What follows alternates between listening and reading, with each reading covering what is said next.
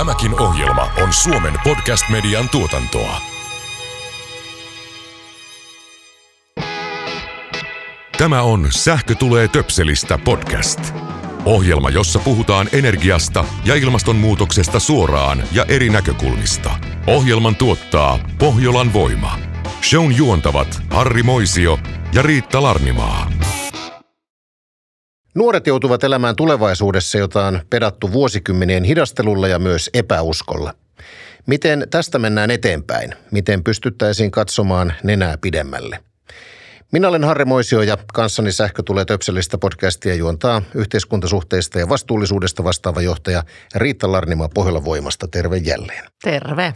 Aika monta kertaa ollaan jo täällä oltu. Hyvin monta kertaa. En, en ole laskenut, mutta kymmenittäin näitä Ei, kertoja sä on laskit ollut ne jo. kyllä äsken, mutta unohdetaan uno, se. Unohdetaan se, koska tarkistuslaskentaa tai välttämättä Just näin, kestäisi. niin kuin minun, las, minun laskuta, niin laskutaitoni ainakaan.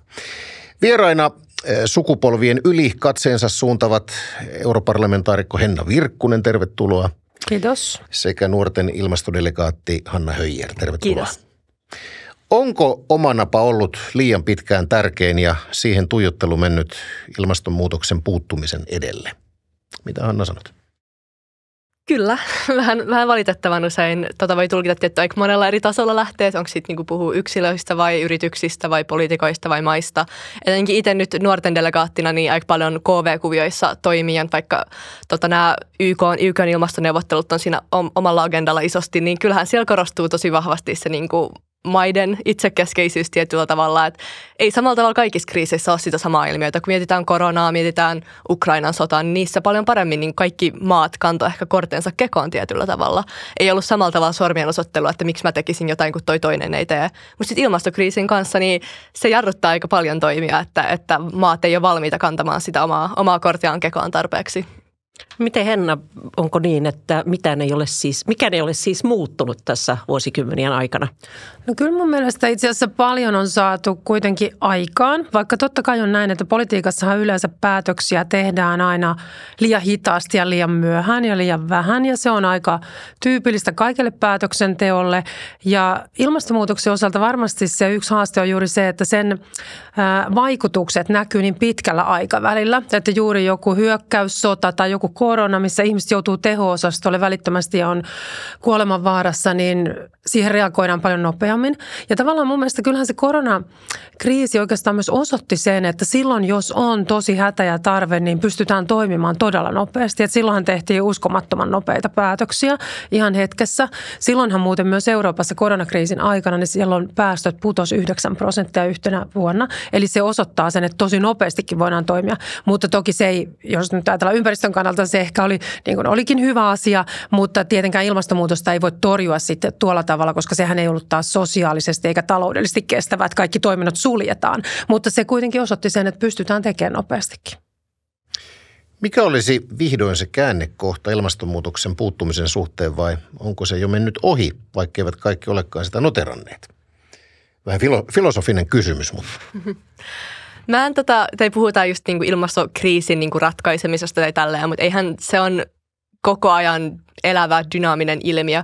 Että mä, niin kuin, mä en näe, että siinä sinänsä ehkä niin käännekohtaa voidaan niin kuin nähdä. Että tietty ekosysteemissä voidaan puhua niin kuin tipping points, missä niin kuin voidaan, voidaan identifioida tällaisia tietynlaisia niin kuin jyrkänteitä, joita etenkin pitäisi varoa, mutta samaan aikaan, että mitä, mitä vähemmän päästöön pystytään tuottamaan, niin se on kaikkiin kotiin päin. Ja siinä mielessä se just korostaa sitä viestiä, että kaikkien pitää kantaa se oma, oma korki ke- kekoon. Että se ei vaikka riitä, että Suomi itse sitten jää sille hiilineutraalille tasolle ja ajattelee, että no niin, nyt me ollaan, me ollaan tehty oma, oma osuutemme, vaan se, se pitää koko ajan pyrkiä eteenpäin ja pidemmälle.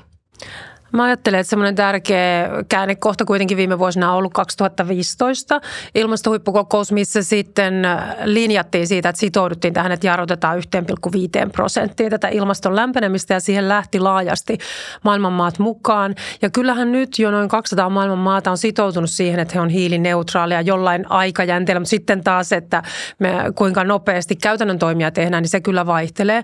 Euroopan unionihan on halunnut olla tässä maailman johtaja, että me oltaisiin tässä ensimmäisiä maailman maailmassa edelläkävijöitä. Ja Euroopan unionin alueellahan päästöt on nyt koko ajan laskenut myös tänä vuonna ensimmäisellä kvartaalilla taas laski verrattuna edellisvuoteen.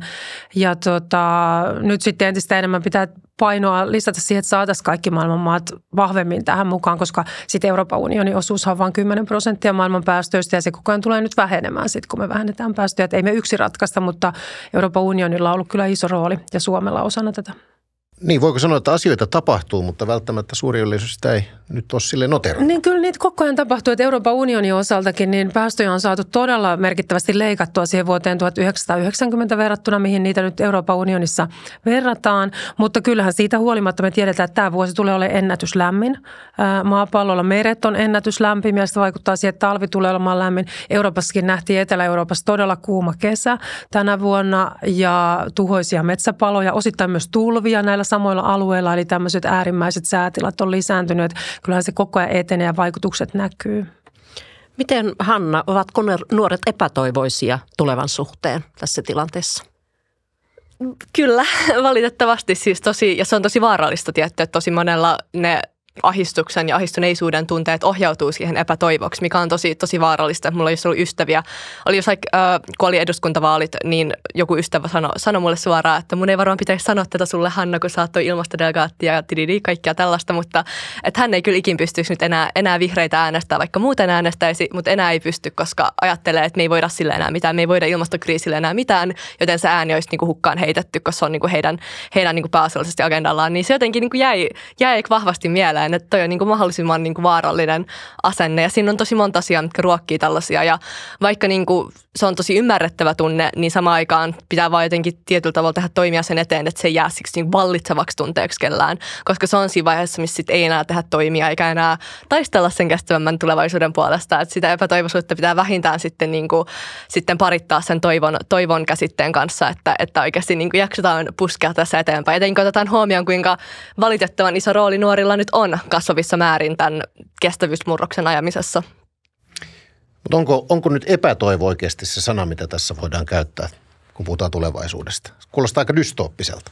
Se vaihtelee tosi paljon. Tietysti nuoriakin, mä nyt olen täältä nuorten edustaja, mutta onhan sekin vähän hupsu ajatus, sä että sulla on keski-ikäisten edustaja. Että nuoret on aika monipuolinen ryhmä tietenkin, mutta aika monella se on se epätoivon tunne. Etenkin ehkä, ehkä nuorilla, jotka joilla ei ole tapoja niin kanavoida niitä tunteita. Mä itse vaikka koen, että mä oon päässyt yli ehkä siitä ahistuneisuudesta ja epätoivosta, koska mä pääsen tekemään tällaisia hienoja asioita ja pääsen tekee asioita, joista mä saan sen kokemuksen, että mun teoilla ja äänellä on väliä.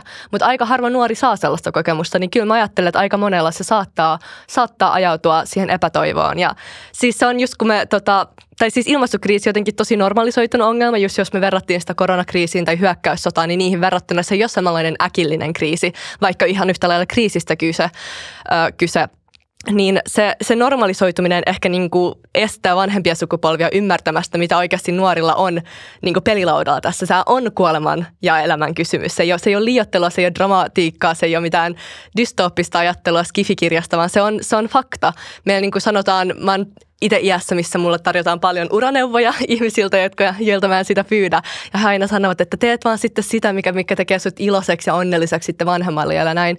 Mä en koe, että mulla on sitä niin kuin valintaa. Mä en koe, että mä voin ottaa oletuksena, että sitten 50 vuoden päästä niin mä pystyn elämään ja tehdä sitä uraa, mitä mä välttämättä haluan. Mä koen painetta, että mun täytyy tehdä ilmastotöitä, koska muuten mulla ei välttämättä olisi sitä tulevaisuutta, missä niin olla onnellinen. Ja se on, se on vaan fakta nyky, nykyajan nuorilla, mitä ei ehkä samalla tavalla niin tiedosteta. Tai sitten ajatellaan jonkun elokapinan niin kuin, uh, fearmongering niin kuin pelotteluksi, mutta se, se on valitettava tosiasia. Miltä tämä Henna parlamentaari, europarlamentaarikon korvissa kuulostaa? No mun mielestä varmasti tota, kyllä päättäjilläkin välillä voi olla sellaisia tunteita, että, että, että tota, on liian paljon vaikeuksia ja tavallaan, että tota, tuntuu musertavalta tavallaan se muutosten tarve, mikä on.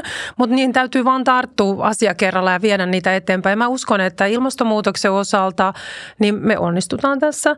Mä uskon todella paljon teknologiseen kehitykseen. Me investoidaan todella paljon uusiin puhtaampiin tuotantotapoihin tuotantotapoihin, miten me uudistamme meidän teollisuutta ja yhteiskuntia. Se vie jonkin verran aikaa. Niihin nyt investoidaan todella paljon. Me ollaan just asetettu vuodelle 2030 näitä tavoitteita, että kuinka merkittävästi siihen mennessä vähennetään päästöjä. Ja nyt suunnitellaan tätä seuraavaa kautta vuoteen 2040 ja vuonna 2050 Euroopan unionin on määrä olla ilmastoneutraali ja aika monet maat on asettanut vuonna 2060 sen oman tavoitteensa kymmenen vuotta aikaisemmin, että nyt me kehitetään näitä teknologioita tähän ja mä uskon kyllä, että me löydetään ratkaisuja, että ei ole mihinkään epätoivon tässä syytä, mutta tämä tietenkin sillä lailla vie juuri sen oman aikansa, että me löydetään näitä uusia tekno- tekniikoita ja teknologioita ja sitten meidän pitää koko ajan huolehtia siitä, että me toimitaan tässä taloudellisesti ja sosiaalisesti kestävällä tavalla, että jos me tehdään niin rajuja muutoksia, että sitten osa ihmisistä menettää elantonsa ja työpaikkansa ja joutuu isoihin talousvaikeuksiin, niin tällä ei ole silloin sosiaalista kestävyyttä. Että meidän pitää huolehtia siitä, että tällä on myös ihmisten hyväksyntä näillä toimilla, mitä tehdään.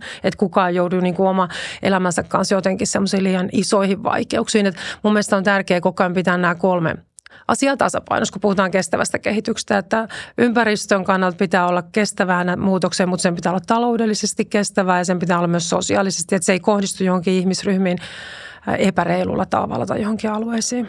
Niin voidaan ajatella, että tämä korona-aika oli juuri sellainen, että tuloksia kyllä tuli, mutta sillä ei ollut sosiaalista hyväksyntää. No ei ollut muun muassa sitä. Kyllähän se, siis sehän tosi rajusti osui. Eikö se ollut ihmisten no, mielenterveyden enkä munkaan kannalta kestävää ja sitten taloudellisesti monet ihmiset joutui isoihin ongelmiin, koska yritystoiminta piti ajaa alas ja oli nämä isot liikkumisrajoitukset ja muut, että se ei ole varmaan hyvä esimerkki sillä, että olisi pystytty kestävällä tavalla tekemään, koska siinä toimittiin, no yritettiin suojella ihmishenkiä tietysti ja silloin se meni kaiken edelleen, mutta kyllähän sillä oli tosi rajut niin taloudelliset ja sosiaaliset vaikutukset vaikutukset ja joo, herätti myös vastarintaa sitten ihmisissä, että kun osa koki, että ne oli liiallisia ne toimet. Nuoret on jo aika pitkään tehnyt toimenpiteitä ja pitänyt asian välttämättömyyttäni esillä.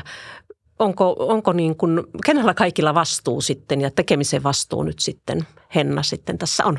No kyllä mä ajattelen, että tämä on päättäjien vastuulla tietenkin ennen kaikkea, jotka on valittu edustamaan kansalaisia, kun puhutaan demokraattisista yhteiskunnista. Mutta itsekin mä toivoisin, että meillä olisi enemmän myös nuoria päätöksenteossa mukana. Että totta kai nuoret on syntynyt erilaiseen maailmaan kuin me vanhemmat ikäluokat ja heillä on erilainen kokemus ja näkökulma asioista. Ja sen takia se olisi todella tärkeää, että myös vaalien kautta tulisi enemmän nuoria päättäjiksi. Että se on tosi hienoa, että eri organisaatioilla on just nuorisodelegaatteja, niin kuin olet mukana kansainvälisessä päätöksenteossa sitä kautta ja kansallisessa myöskin, mutta sitten myös päättäjiksi olisi tärkeää saada enemmän myös nuoria mukaan, että saataisiin vahvemmin vielä sitä tulevaisuusnäkökulmaa. Mistä se, Hanna, johtuu, että nuoret ei sitten ole niin paljon mukana päätöksenteossa, siinä niin sanotussa virallisessa demokraattisessa päätöksenteossa? Joo, no siis siinä on aika paljon tekijöitä ja se varmasti johtuu osaltaan niin kuin sieltä nuorten päästä, että monet nuoret kokee, että, että heillä ei ole siihen mahdollisuuksia, mutta samaan aikaan kyllä mä koen, että siihen on myös paljon vastustusta sit sieltä niin kuin toiselta puolelta, sieltä niin kuin päätöspöydistä, että, että ei samalla tavalla ole, ole väyliä nuorille päästä niihin rooleihin tai väyliä kilpailla, kilpailla sitten niin kuin ihmisten kanssa, joilla on vakiintunut äänestäjäkunta tai jollain ne resurssit. Resurssit on tietty tosi iso kysymys niin kuin nuorille kasvavissa määrin, että miettii tätä niin kuin työtä, mitä mä itsekin teen, niin siis tämähän on pitkälti niin vapaaehtoistyötä. Ja mä teen aika helvetissä duunia rehellisesti sanottuna, ja mä teen sen mun opintojen ohella. Ja sen lisäksi pitäisi ehkä työskennelläkin, että saa vuokran maksettua. Ja onhan se niin kuin ihan valtava kuormitus niin kuin nuorelle. Sen lisäksi, että tässä sitten niin käsitellään vielä tämmöisiä eksistentaalisia kriisejä, mitkä ei ole ihan niin kuin kevin, kevin aihe niin kasvavalle ihmiselle. Et siinä mielessä ei, ei nuorilla samanlaisia resursseja. Mulla oli vaikka ystäviä, jotka oli eduskuntavaaleissa mukana, mutta olihan heillä niin kuin mikä, mitä nämä arviot oli, että eduskuntavaaleissa keskimäärin käytetään joku 30 000 euroa keskimäärin, niin kuin valitut käyttää siihen niin kampanjointiin, niin eihän se ole niin kuin realiteetti hirveän monelle nuorelle niin kuin Suomessa. Et siinä on paljon tällaisia esteitä, jotka jarruttaa, jarruttaa nuoria sitten niin kuin pyrkimästä eteenpäin. Joo, se on nyt tärkeää, kun on tulossa vaaleja vuonna 2024, esimerkiksi Euroopan parlamentin vaalit, että tuetaan nuoria ehdokkaita niissä vaaleissa. Ja totta kai nuorten menestymisen kannalta on myös tärkeää se, että nuoret itse äänestäisi aktiivisesti ja äänestäisi nuoria, koska sitten tiedetään, että monesti vanhemmilla ihmisillä on iso kynnys valita huomattavasti itseään nuorempi päätöksentekijä. Kuitenkin niin se on yksi, yksi avain siinä. Tietysti vanhempien pitää tukea nuoria ehdokkaita ja sitten se, että nuoret äänestäisi myöskin. Mutta kyllä päättäjien tehtävä on ottaa huomioon kaikenikäisten ihmisten näkökulmia ilman muuta. Ehdottomasti. Jos voin tuohon vielä kommentoida, niin yksi, yksi ilmiö, mikä sitä ehkä vielä ruokkia, just tota, puolestaan sitä, että minkä takia nuoret ei pyri niille paikoille vastaavissa määrin ja myös siitä, minkä takia sitten ei edusta ja tue samalla tavalla niin ikätovereidensa niin pyrkimyksiä, niin on sitten se niin kuin tietynlainen luottamuksen puute politiikkaan, mikä linkittyy just tämmöisiin epätoivon tunteisiin. Linkittyy siihen, että mun ystävä ei, ei halunnut niin kuin äänestää vihreitä, koska ajattelee, että se on turhaa tässä vaiheessa. Et politiikka siis kasvavissa määrin vaikuttaa aika niin kuin pelleilyltä. Tai siis se, se vaikuttaa tosi monen nuoren korvaan niin turhauttavalta, raivostuttavalta, lapselliselta se dialogi, mitä käydään. Se on semmoista showta. Ja just kun mietitään, että on näin eksistentaalisia kysymyksiä kuin vaikka ilmastokriisi, ja silti on niin vaikea päästä eteenpäin, niin on se ihan niin järkyttävän raivostuttavaa, eikä niin herätä. Musta tuntuu, että mä itsekin, mitä enemmän mä niin työskentelen politiikan parissa, sitä enemmän mä oon silleen, että tämä ei ole ehkä se, mitä mä haluan tai jaksan tehdä lopun elämääni. Et ennen, sitä enemmän mä ehkä ajattelen, että ehkä mä haluan niin yksityiselle puolelle, vaikka niin kuin sitten nyt kun mietin, mietin niitä niin kuin uravaihtoehtoja. Että siinä niin kuin politiikkaan menee niin kuin luotto, luotto pitkälti tällaista, kun, kun työskennellään tällaisten kysymysten parissa ja silti junnataan niin kuin paikoillaan. Että tietyllä tavalla, kun mietitään vaikka ilmastotoimia, mä en kuulostaa todella pessimistiseltä. Siis ehdottomasti tosi moni poliitikko tekee ihan loistavaa työtä. Mä tässä, tässä roolissa mulla on etuoikeus päästä näkemään ja tapaamaan ihmisiä, jotka tekee ihan loistavaa työtä ja tekee intohimolla ja, ja tota, intohimolla, intohimolla vie asioita eteenpäin. Mutta tota, samaan aikaan ilmastokriisi on oudon niin polarisoitunut ja politisoitunut kysymys tietyllä tavalla. Ja sitten tulee just tämmöistä poliittista, niin poliittinen pelinappula melkein niin sillä pelaaminen. Ja, ja sitä melkein käytetään tämmöisen niin populistisen, populistisen niin kuin, ö, lähestymistavan niin pelinappulana. Ja se, tota, se, on, se on tosi vaarallista. Ja just se, että vaikka EU:ssa ja Suomessa toki tehdään, tehdään töitä sen eteen, että päästään sen hiilineutraaliuteen. Mutta sitten joskus siinä on se, se ajatus siitä, että tehdäänkö sitä niin oikeasta syystä että onko se vaan, että yritetään päästä, päästä paperilla nimellisesti siihen hiilineutraaliuteen, että se näyttää hyvältä ja voidaan sanoa, että siihen päästiin, vai tehdäänkö me oikeasti aidosti niin paljon kuin me voitaisiin? Onko just se oikeasti se niin kuin tehokkain tapa oikeasti sen kriisin välttämiseksi se, että EU, EU jos itse on niin kuin siinä hiilineutraalissa, vai pitäisikö meidän enemmän ohjata meidän resursseja oikeasti auttamaan muita valtioita, vaikka se ei näyttäisi meillä itsellä niin hyvältä, mutta että me oikeasti autettaisiin sitä vietäessä kokonaistilaa eteenpäin. Niin tässä kyllä toistuu se ajatus niin kuin omaan napaan kattomisesta tosi vahvasti, kun miettii, miten niin ilmastopolitiikkaa ajetaan eteenpäin. Puhutaanpa vähän sukupolvisesta oikeudenmukaisuudesta tai oikeastaan ylisukupolvisesta oikeudenmukaisuudesta. Ää, aiempien sukupolvien päätöksentekijät, olisiko heillä pitänyt olla jo vastuu tässä tyyli 70-luvun päätöksentekijöillä. Kun 70-luvun lehtiä esimerkiksi katsoo, niin ei, ei siellä mikään ilmastonmuutos-sana tunnu edes esiintyvän. Silloin oli aivan muut asiat tapetilla. Onko heillä joku vastuu tässä? Joo, ja 1979 taisi olla Euroopassa se vuosi, milloin oli kaikkein eniten hiilidioksidipäästöjä. Itse asiassa nyt ollaan enää miltei puolet siitä tasosta, mikä silloin oli. Se oli kyllä rajua fossiilisten tuprutusta se 70-luvun loppupuoli, mutta silloin ei ollut ehkä tieteellistä käsitystä tästä asiasta vielä sillä tavalla, että sehän rupesi sitten 80-luvulla enemmän heräämään tämä tietoisuus ja sitten 90-luvulla ryhdytty järjestämään kansainvälisiä kokouksia niin kuin tarttumaan tätä asiaa ja tutkimaan ja totta kai tutkimusta on koko ajan tehty, tehty lisää, mutta kyllä tässä niin kuin aikaa menee ennen kuin tämä laiva kääntyy, kun talous oli niin vahvasti näihin fossiilisiin energialähteisiin perustuva. Ja tota, se, että Euroopan unioni yrittää olla tässä, se onkin maailman johtava alue, niin se on tärkeä asia. Ja myös se, että me tuetaan muuta maailmaa. Että Euroopan unioni on erittäin iso ilmastorahoittaja myöskin, missä pyritään kehittyviä maita nyt tukemaan tässä, myöskin tässä muutoksessa. Niin tuntuuko Hanna senkin takia jo turhauttavalta, että ne sukupolvet, jotka eivät tässä pöydässä edustettuna ole, minä edustan sitä keski-ikäisyyttä tässä 50 miestä, niin, niin minäkään en ollut siellä 70-luvulla päättämässä asioista, puhumattakaan 60-luvusta, niin tuntuuko se entistä turhauttavammalta? Kyllä, kyllähän se tuntuu ja siis ylipäätään ehkä retoriikka siitä, että kenen vastuulla se on ja kenen olisi pitänyt kantaa vastuuta, tuntuu ehkä vähän tarpeettomalta retoriikalta ihan vaan siinä mielessä, että kyllähän niin kuin taas, taas mennään, palataan siihen niin kuin faktaan, että kaikkien pitää tehdä niin paljon kuin pystyy. Että ilmasto-oikeudenmukaisuus vaikka on iso, iso teema niin kuin nykyaikana, että kaikkien valtioiden ei niin kuin, ehkä toivot niin kuin ideaalitilanteessa ei, ei joutuisi viemään näitä asioita eteenpäin, koska niin paljon muita ongelmia, mutta valitettava tosi tilanne on, että kaikkien pitää vaan tehdä niin paljon kuin fyysisesti pystyy ja samalla tavalla niin kuin vastuuta sekä poliitikkoja, mutta samalla tavalla niin yritysten ja yksi, yks, yksilöiden pitää kaikkien kantaa sitä vastuuta siinä kapasiteetissa, kun pystyy. Ja kun miettii tuota 1970-lukua, niin se on totta, että tietenkin määrä on kasvanut tosi paljon niin kuin siitä sit tulevina vuosikymmeninä, mutta kyllä silloinkin on ollut sitä, niin kuin, kyllä se niin kuin fakta on siinä vaiheessa jo tiedetty, mutta taas se, se että onko se ollut niin kuin kansantietoisuudessa, niin se on sitten se niin kuin avain, avainmuutos ja ehkä se, minkä takia edelleen niin hitaasti päästään eteenpäin, koska kyllähän se poliittista tahtotilaa se on suoraan, suoraan yhteyksissä sit siihen niin kansan tahtotilaan ja kansan asettamaan poliittiseen paineeseen. Ja 1970-luvulla se ei ole ollut sellaista kansantietoa, ymmärrystä, eikä, eikä sitä tulevina vuosikymmeninä vielä, vaan koko ajan me rakennetaan sitä niin kuin tietoisuutta, tietoisuutta ja niin kuin halua, halua asettaa sit sitä poliittista painetta, mutta onhan se tietyllä tavalla yksi, niin kuin, yksi tämmöinen niin kuin luonteenomainen niin kuin vaje melkein demokratiassa, joka on tietenkin par- paras malli, mitä meillä on, mutta just se, että ollaan, ollaan riippuvaisia siitä kansan, kansan tahdosta, vaikka sit poliitikot vaikka tietäisi paremmin ja niillä olisi se, olisi se pääsy siihen niin kuin tieteeseen, niin silti me ei päästä hirveän pitkälle ennen kuin me tehdään siitä tiedosta ja ymmärryksestä saatavaa, saatavaa kaikille. Niin onko tässä vähän samanlainen tilanne, mitä Winston Churchill aikanaan kuvaili, että jokainen meistä tietää, mitä pitää tehdä, mutta milläs voitat vaalit? Ehdottomasti. vähän tällainen? Sanoisin ehdottomasti ja se linkittyy sen ilmastokriisin polarisoit- äh, po- politisoitumiseen, mikä on tosi, tosi valitettavaa, mutta, mutta vääjäämätöntä. Varmaan niin kuin Hanna totesit, niin se aikaisempien sukupolvien syyllistäminen sinänsä, niin ei se hirveän pitkälle kanna. Mutta jos me ajatellaan nyt tällä hetkellä päätöksiä tekevää ikäluokkaa, niin mitä te nuoret sitten odotatte siltä päätöksenteolta? Mitä me odotetaan ja epätoivoisesti tarvitaan, niin olisi niitä rohkeita tekoja. Kyllä sellaisia tekoja, jotka, jotka vois mennä jopa sitä vastaan, mitä kansa tahtoo. Ja se on, se on siinä tapauksessa, missä se ei, ei, ole, ei ole niitä ilmastotekoja, koska pitkällä tähtäimellä ne on joka ikiselle ihmiselle tällä maapallolla. Ne on niitä kannattavia tekoja, niitä kannattavia ö, vetoja. Ja etenkin tietenkin nuorille sukupolville, koska ne on niitä pitkän tähtäimen politiikkaa. Mutta meidän nykyinen poliittinen systeemi on sellainen, että se ei välttämättä kannusta ajattelemaan niin pitkälle. Se kannustaa ajattelemaan seuraaviin vaaleihin asti.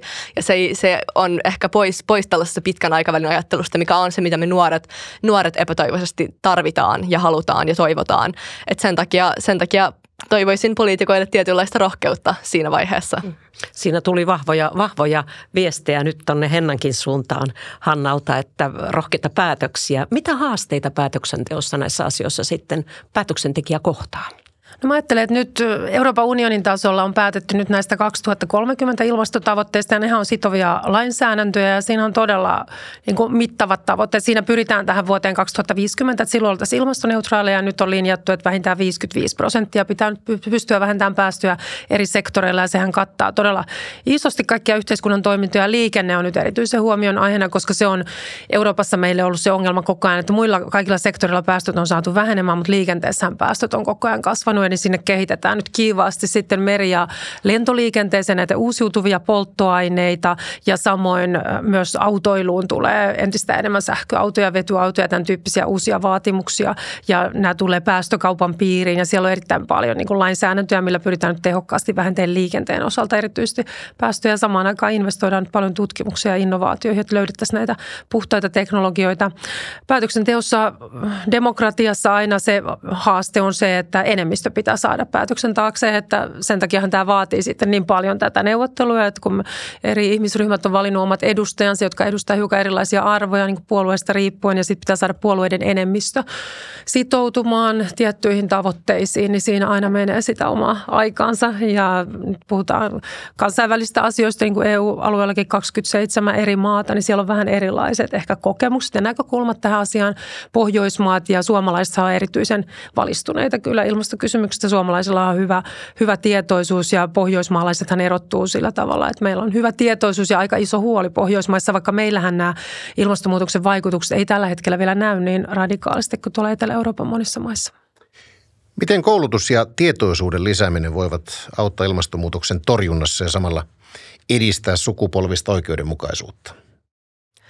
niin kuin, niin kuin tässä nyt on korostunut viimeisissä puheenvuoroissa, niin se on, se on tietysti se avain sen tota, demokraattisen mallin mukaan, mukaan työskentelemiseen, että se on se, millä ta, niin kuin voidaan kannustaa siihen poliittiseen tahtotilaan ja se on, se on siinä mielessä se niin kuin juuri, juuri ratkaisu ja just etenkin kun mietitään, että näin ei, voi olla sellaisia ratkaisuja, jotka pakotetaan ihmisten päälle, etenkään nuorten näkökulmasta, koska se sosiaalinen ja taloudellinen kestävyys on erityisen tärkeää, kun mietitään sitä, mitä nuoret tarvitsevat, koska, koska 50 vuoden päästä vaikka se, milloin me todella maksetaan, maksetaan se hinta, jos niitä, niitä sosiaalista ja taloudellista kestävyyttä ei ole myös otettu huomioon. Et siinä mielessä se tietoisuuden lisääminen, että voidaan oikeasti yhdessä, yhdessä yhteiskuntana työskennellä sitä niin kestävämpää tulevaisuutta kohden systeemi ja niin kuin rakennetasolla, niin se on, se on kaiken niin kuin A ja O. Että se, siinä vaan pitää löytää siis se tasapaino, että, me, että se, että me keskitytään siihen, ei ole pois siitä nykyhetken päättäväisistä toimista, koska samaan aikaan meillä ei valitettavasti ole myöskään sitten toisaalta sitä aikaa jokaista, jokaista ihmistä maapallolla sitten niin kuin kouluttamaan, kouluttamaan niin ilmastoeksperteiksi. Että siinä pitää löytää se tasapaino, mutta, mutta koulutus on ehdottomasti osa sitä ratkaisua, etenkin pitkällä tähtäimellä. Niin meillähän täällä Suomessa, Pohjoismaissa, kuten todettu, niin meillähän täällä on korkea koulutustaso ja ihmisten tietoisuus oletettavasti on aika, aika hyvällä tasolla. Mitä Hanna sanot, olemmeko kaikki tietoisia? Ainakin meidän pitäisi olla. Mukamas, joo, mutta siis etenkin mikä on ehkä niin omassa roolissaan korostunut on se niin maantieteellinen vaihtelu, etenkin, etenkin Suomessa. Että jos mietittiin, kun mä vaikka työskentelin tämän nuorten ilmastohuippukokouksen kanssa, joka oli tuossa juuri ennen COP28-neuvotteluja, näitä hyvin, hyvin historiallisia YK ilmastoneuvotteluita, niin siinä, siinä meillä oli just isona tavoitteena oli just tavoittaa nuoria kaikkialta Suomesta, koska me eletään niin helposti PK-seudulla siinä meidän kuplassa, että kyllä me ollaan kaikki tietoisia ja kaikki on hyvin ja Suomi on tällainen malli, roolimallimaa, mutta sehän on tosi kaukana niin kuin todellisuudesta, kun vaikka ilmastodelegaatin roolissa tekee jotain kouluvierailuja sit yhtään niin kauan, kauempina olevilla kunnilla. Et siellä on sit hyvin, hyvin erilainen käsitys näistä kysymyksistä, mikä näkyy sitten vaikka kun katsoo näitä niin analysoja vaikka jotain niin kuin äänestysmalleja, että miten alueellisesti vaikka äänestetään tiettyjä puolueita. Että kyllähän niin kuin ny, nykyisenkin niin kuin eduskunnan ja hallituksen kanssa niin näkyy, että aika, aika iso osa, osa kansasta on ilmastotoimia vastaan tai niitä jarruttamassa, jarruttamisen puolella jossain määrin siitä tietoisuudesta ja koulutuksesta huolimatta huolimatta, niin kyllähän se sitten niin kuin vääjäämättä niin kuin paljastaa, paljastaa sitten rakoja, rakoja Suomenkin tässä tota, mallissa siinä vaiheessa. Jos Suomessa näin, niin miten sitten EU-maissa näyttäytyy? Ja sitten jos mennään siitä vielä globaalille tasolle, niin mikä se tietoisuuden taso tosiasiallisesti sitten on?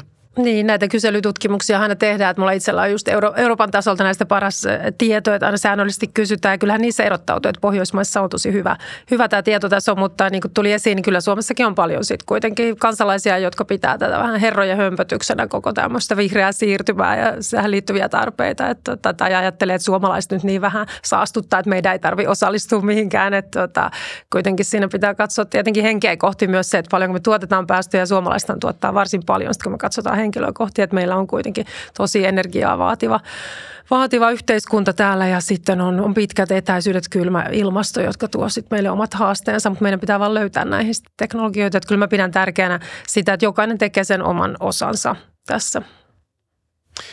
Miten pidetään huolta siitä, että toimenpiteet, joita ilmastonmuutoksen pysäyttämiseksi tehdään, niin se on, se on tasapuolista kaikille, että se ei vaikuta kohtuuttomalta eri yhteiskuntaryhmien tai peräti eri, eri kansojen mielestä. On, onko siihen olemassa edes mitään reseptiä? No mun mielestä se on päätöksentekijöiden vastuulla juuri, että nämä tehdään sillä tasapainosti. Että mä ajattelen itse, mikä tulee aika usein just esiin, on nämä liikenneasiat, varsinkin, että Suomen kaltaisessa maassa, missä on pitkät etäisyydet ja sitten on paljon ihmisiä, jotka ei oikein pärjää siinä omassa arjessaan, esimerkiksi ilman autoa.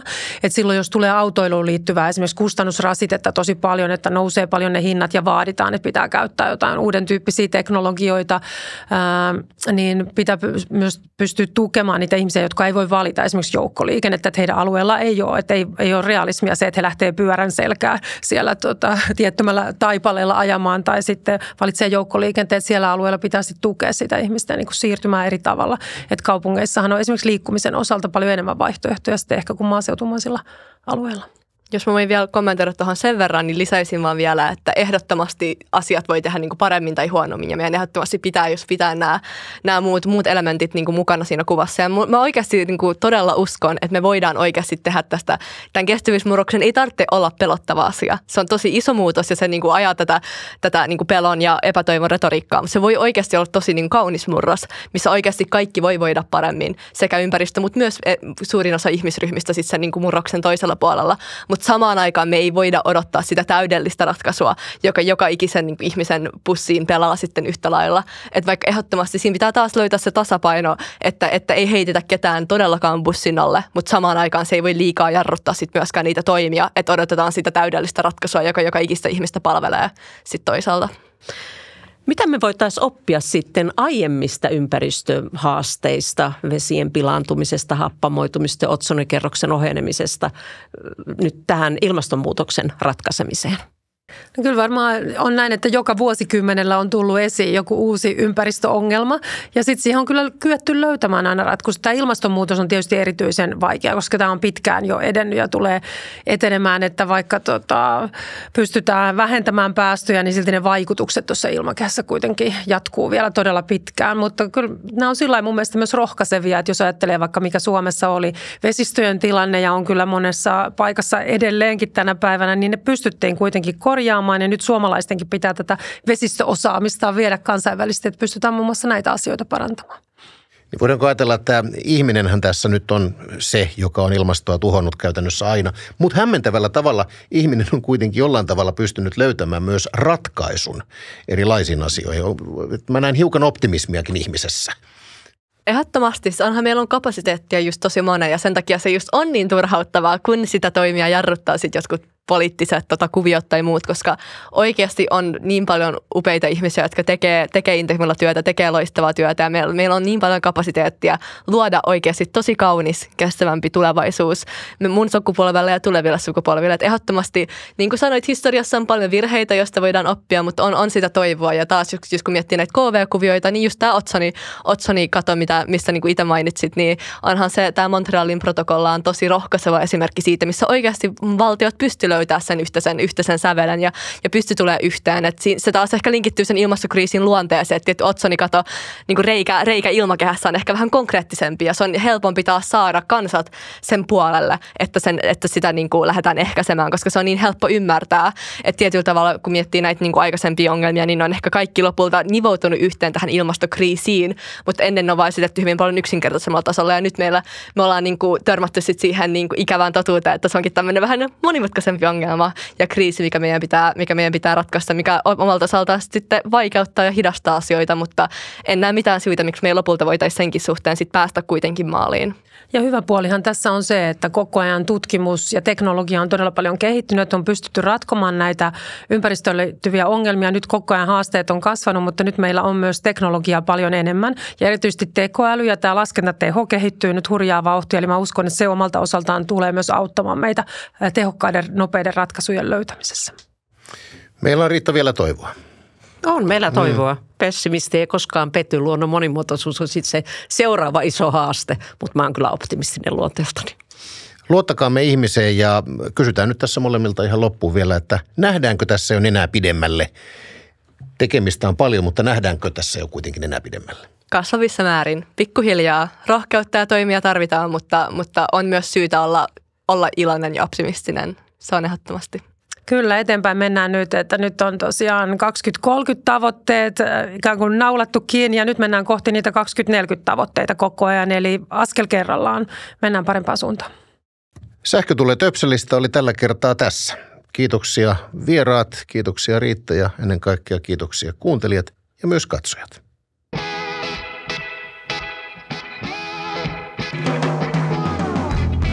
Kuuntelit Sähkö tulee Töpselistä podcastia. Ohjelman tuottaa Pohjolan voima. Tämän ohjelman tuotti Suomen Podcast Media. Jos pidit tästä ohjelmasta, muista seurata Spotifyssa tai arvostele ohjelma Apple Podcastissa, niin muutkin löytävät ohjelman pariin.